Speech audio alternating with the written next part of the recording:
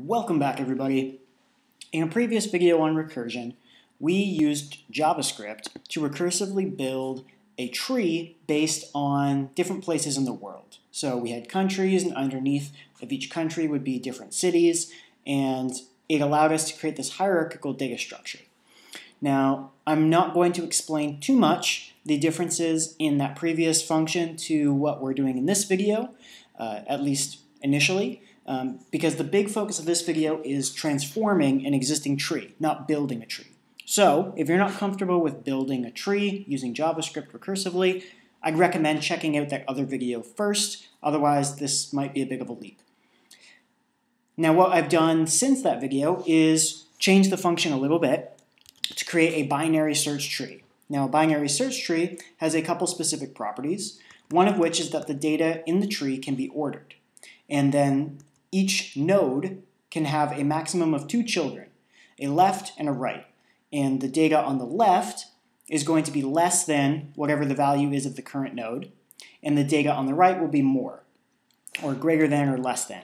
So if we look at this expected output, which is what we'll be eventually getting to in this video, uh, we have 7 as the root, and the left of it is 5, which is less than 7, obviously, and to the right of it is 9. But if we follow this left branch, left of 7 is 5, which is less, left of 5 is 4, and right of 5 is 6. To the right of 7 is 9, to the left of 9 is 8, and to the right of 9 is 10.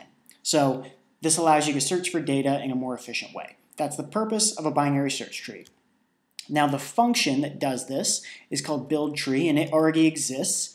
It uses an insert value helper function, which is really just a small uh, modification to the previous function that built the tree based on different places in the world. And all it really does that's different is minim, uh, set the parent child, the parent node uh, for the recursive call to either be the left or the right child, and it orders accordingly so that the data being passed in follows the correct branch. That's all it is. If you want to play around with this and understand it better, there is a link to the code in the description box below. Now, the focus of this video is on mapping over a tree.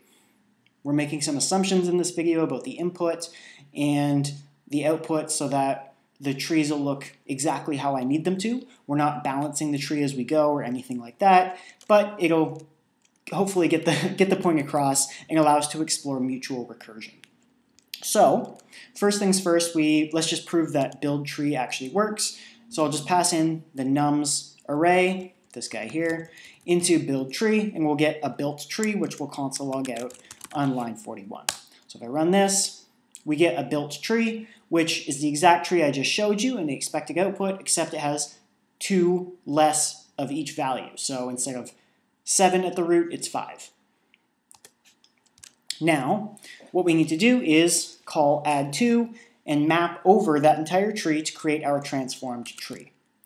So let's comment out build tree. And since the font is pretty jacked up right now, I'm only going to output the transformed tree and we'll just give it the old eye test and make sure that it looks like the correct output.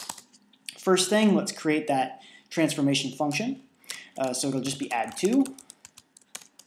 And it's just going to take a value and obviously returned that value plus 2. Nothing too groundbreaking, but we need that function as our helper. And now, if we are going to transform any data type, it's going to be some kind of map. And since tree, let's just call it tree map. So, tree map, and it's going to take a function, just like every map, and a data type, or a data structure, I should say, which is a tree in this case. And as always, we're going to be starting with our base case. So our base case is going to be that we hit a leaf node. And we know that we hit a leaf node if we pass in a child node or a child tree. Uh, and so the tree value would be undefined if, so let me explain that again. If a tree gets passed in that is undefined, that means that the parent was a leaf node. So that means that we can just return our base value, which if you look up on line 30 is an empty object, just like in the previous video where we were building a tree. So if tree equals undefined, we have hit a leaf node for the parent, so we'll just return that empty node. Otherwise, we need to continue diving, which means that we need to build a transformed tree. And so it's going, because I haven't made trees into an abstract data type, we're just going to use object.assign and operate directly on the data, which means that we need to set the data property of this root node. So if we pass in a tree, it has a data property. We're going to build that manually here. And the new data property is just going to be the data, uh, the data property of that tree that was passed in with the function applied to it. Fairly straightforward. I hope. I hope that's clear. Uh, and so all we need to do to finish building the rest of this tree then, or transforming this tree as we go, is to assign its children. So the left, oops, the left and the right. And so now, because we have not created those values yet, we need to create them. So we have a left value, and a left value is just going to be the left child of the tree. So tree.left. The problem is that could be non-existent. It's every node isn't always going to have a left child. So if tree.left does not equal undefined, meaning that it does exist, then actually let's do it the other way. Equals undefined, just because that'll make the whole point of this a bit clearer. Does not uh, equals undefined, then we will create this left property, which is going to be the left property of this root node, and assign it the value of a tree map of the function with tree.left passed in. So what we're doing here is we are saying if there is a child at the left node, then we want to transform it with tree map because the child node is also a tree because trees are recursively defined. And then we want to set it to the left property here so that we can assign it to the root node that we transformed on this line. Okay? Otherwise, oh, sorry, I did that, uh, uh, accidentally jumped up to the top. Did that backwards because I have uh, removed, or I've swapped this from being does not equal undefined to equals undefined. So if it equals undefined, we will return a empty node, which is just going to get swallowed up in object.assign. So if you're passing an empty object to object.assign, it's just going to essentially act like that doesn't exist. So it'll say if there is no left child, return this empty object, which means it'll replace left with an empty object, which means it won't assign a left child, which is what we want. Now we can do the same thing with the right, which is just right equals tree.right. Replace that with right, and replace this with right as well. You'll notice there's a lot of repetition We'll fix that in a moment, but first let's make sure that this transformation function works. I've already re uh, removed the comments on that, so this should give us a transformed tree. And at a quick glance, that looks right to me. Everything looks like it has in been incremented by 2, and we've returned a new tree. So we input a tree, we mapped over it with an add two function, and we got a new tree back, which is what we wanted.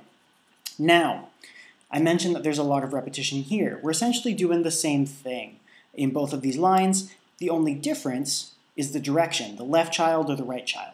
So if we break this out into a separate function, we can parameterize it. So let's do that. We'll create a branch map, and it'll take a function, it'll take a tree, and it will take a path. And now if I just grab this, I can remove that and I can just return, oops, not right, I can return tree and then instead of dot left I can parameterize it with the path variable. So we'll just say if whatever path is passed in exists or does not or equals undefined so it does not exist then return the empty node otherwise return a populated node at that path direction and apply the transformation oops, to that child node. So now what we've done, if we look at these two functions, is tree map is going to call branch map, and branch map calls tree map, which is pretty slick. So now we have a mutually recursive situation going on. So let me just actually write this function here, function, tree, and then left.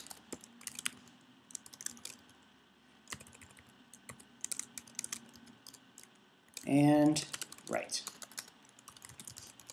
And so the reason I switched this from being not equals undefined to equals undefined is it makes the base cases much more obvious. We have branch map, which is recursive and handling one kind of base case, which is where there isn't a child. And then we have this base case where we're handling if we're at a leaf node. So this way we can pass back and forth between the two functions and they recursively hit a base case. So it's pretty, it's pretty cool. Now, if we run this, we get our transformed tree. So our, data, our entire data structure has been transformed, and we've done it with these two functions that call each other in order to horizontally and vertically navigate this data structure. Hopefully that is as interesting to you as it is to me. I think it's, I think it's pretty cool. Uh, this is just wanting consistent spacing. There we go.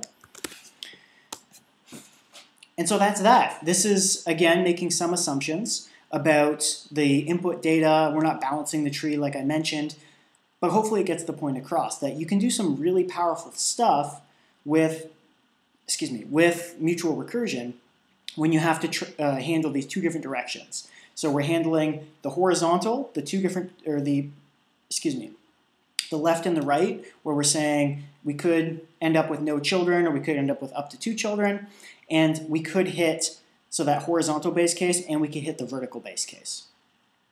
In either case, these two, these two functions just call each other back and forth until the base case is reached and all the data gets transformed.